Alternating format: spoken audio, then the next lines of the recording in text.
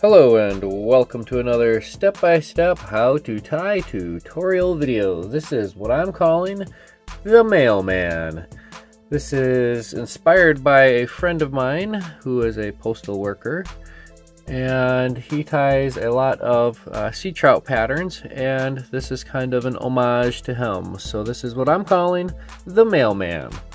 This is tied on a Size 4, this is a Moonlit ML057. It's a 1x strong, 3x long streamer hook.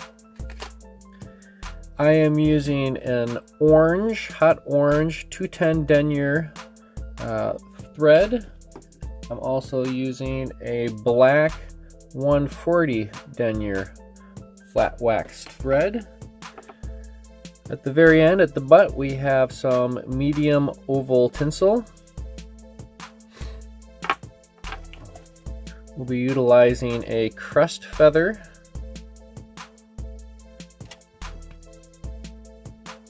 Some black ostrich. The body consists of a four strand black silk floss with a silver ribbing. This is a 13 100ths silver wire. Underneath we have a beard. I'm using a dyed uh, hen hackle. And up top our wing is none other than a squirrel tail. So let's go ahead and remove our sample and we can secure our blank hook in the vise. Just like so. And we're going to start off using our orange thread. We're going to start off casting that up front. Trim off the tag end. And we're going to start off tying in our furthest rear material which is our medium French tinsel. And I like to tie it in full length of the body because that gives us a nice consistent size and shape of the body. We're just going to take our time running this all the way from the front to the rear. We're going to tie that in on the near side of the shank of the hook. Take that all the way into the bend, maybe to about the 10 o'clock position. Get our thread forward and out of the way. And let's come in and palmer on our French tinsel. Nice close touching wraps. We're only going to get about four or five of them in. That's one full wrap. Two. Three. It popped off there just a little bit. There we go. That's three, four, and we'll do one more fifth wrap.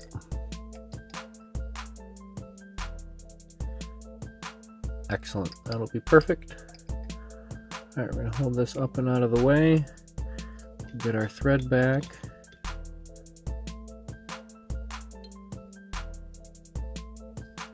And we can secure our tinsel down.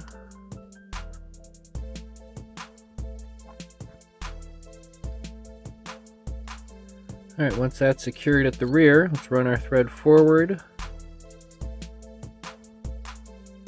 and lay our tinsel down.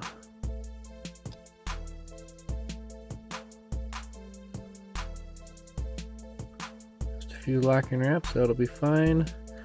And for the most part, I have this laying down on the far side of the shank of the hook. We'll come back, tie the rest of that in. We're gonna spend a few minutes, a few moments here at the back end. We're going to just do a little hot spot, just up the bend of the hook as it transitions to the shank. We'll keep this 210 denier, that's what I like about it. It's nice and flat when you lay it out spin your thread counterclockwise or anti-clockwise depending on your region. Here we go. Bring our thread forward and we'll secure that with a one, two, three whip finish. One, two, three. Here we go. And that just covered our assets at the back of the fly. All right, we're going to transition to our black 140 denier thread now.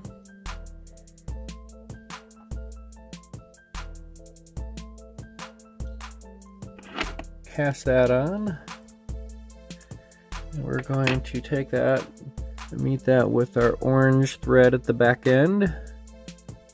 We're not going to quite go all the way into it. Excellent. Now let's grab our crest feather.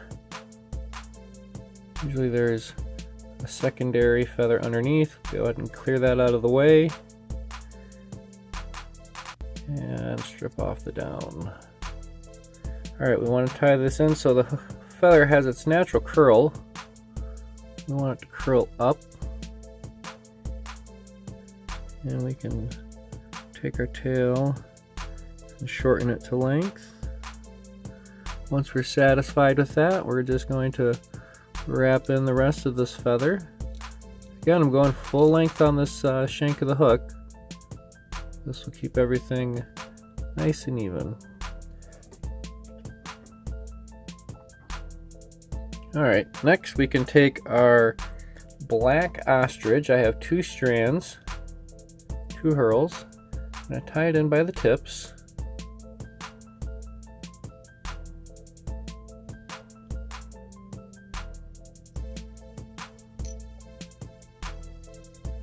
Run that full length all the way to we meet our crest feather. Bump my thread forward a little bit. I'm just going to take a few wraps.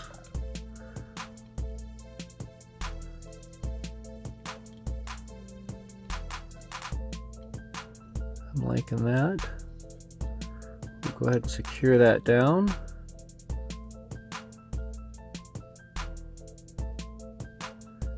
And you guessed it, we're going to lay this down, secure it up front. It's a lot of back and forth, but in my opinion, I think the end result is worth it. Alright, next we'll tie in our wire for our ribbing. Once again, this is a 13 100ths fine silver wire.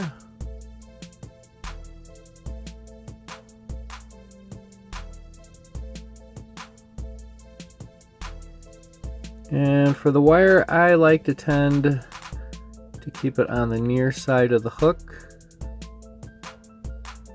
I'm to take that right to the tip of the tip of the hook. That's where I want the majority of the body to begin at the rear end.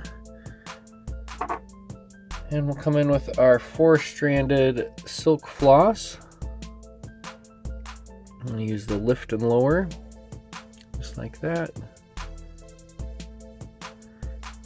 And for the silk floss, I'm going to tend or trend to keep this on the top side of the shank of the hook.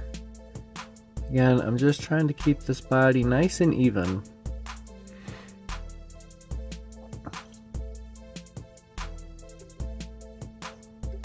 Take our thread forward one last time.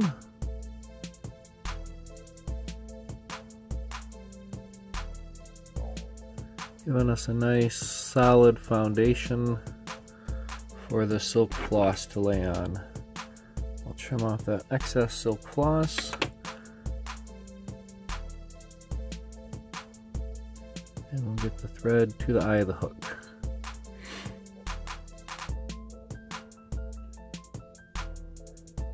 Okay, so in my experience working with the silk floss, I found it best to keep it on the spool and in a bobbin. And this allows me to rotate the bobbin as necessary and I can really adjust how it lays when it makes contact with the shank of the hook. And I found that if I manhandle it with my fingers, my fingers are always so dry, it really frays out. You really want to lay a nice good foundation. We'll just take our time working that forward.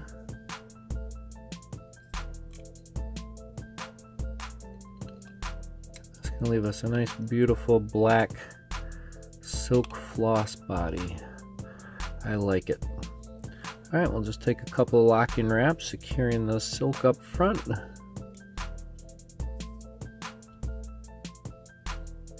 And trim off our excess. Alright, at this point we can grab our silver wire. We can palmer on our ribbing. Nice evenly spaced open spiral working our way from the rear to the front. And aesthetically this is kind of, in my opinion, what can make or break a fly is if your wraps are not spot on even. But with a little bit of practice, you too can tie a fly. Alright, so since this is a nice fine wire, I'm just going to take a couple of wraps up front, and this will help prevent the final exposed uh, rib from sliding forward too much.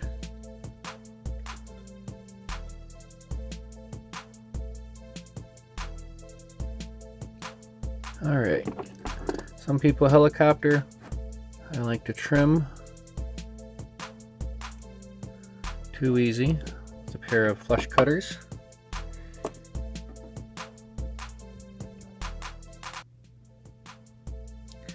Perfect. At this point we can come in with our beard.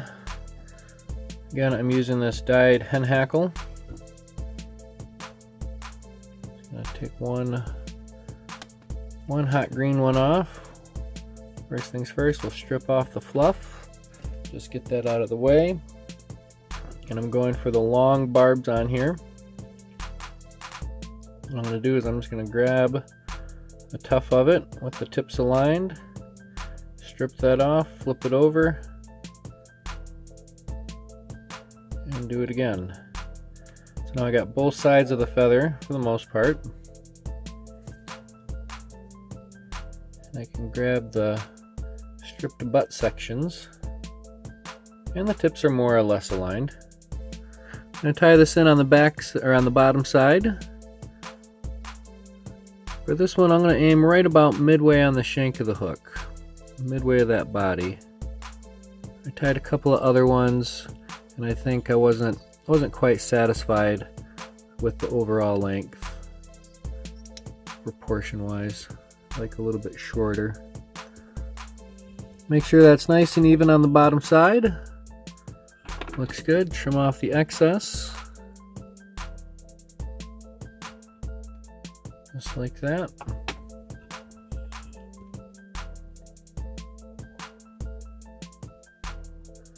Now we can grab our squirrel tail. And give that a little trim.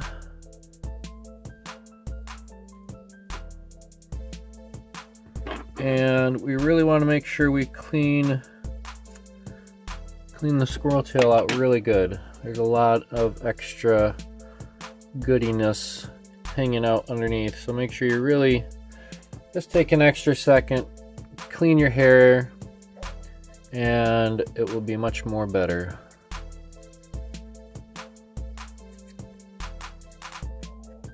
If you have a brush, grab a brush. If you have a comb, grab a comb. All right, we're gonna go ahead and take that, put our tips in. We'll give that a stack here for a quick minute. And I really like the squirrel tail because I really like the white tips at the end. I think it just gives a lot of, a lot of added character. Let's get all the loose ones out. And we'll tie it in. Just about like so, almost about halfway through that far tail. Keeping it sparse.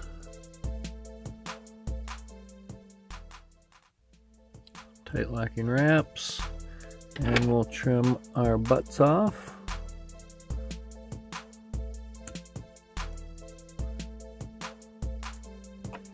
And we'll build our head.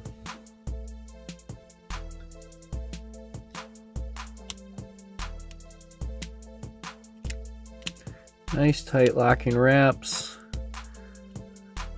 Really got to be careful with uh, squirrel tail. Again, it can be kind of slippery. And if you're not paying attention, you'll end up with uh, the hair just slipping right off underneath the thread. So let's go ahead and secure it all with a one, two, three whip finish. One, two, three turns.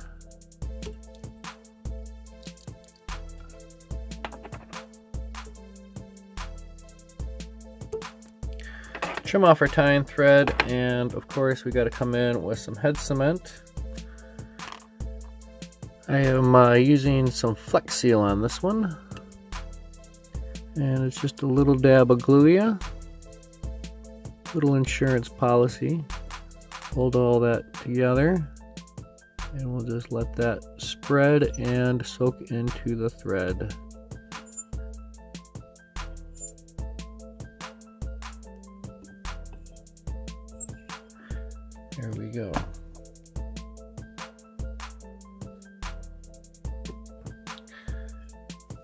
So there you have it, folks. This is what I'm calling the mailman. This is inspired by a friend of mine in Norway. Um, and it's a kind of a, inspired by a sea trout pattern. So there you have it, folks. Happy tying. And with this one, tight lines.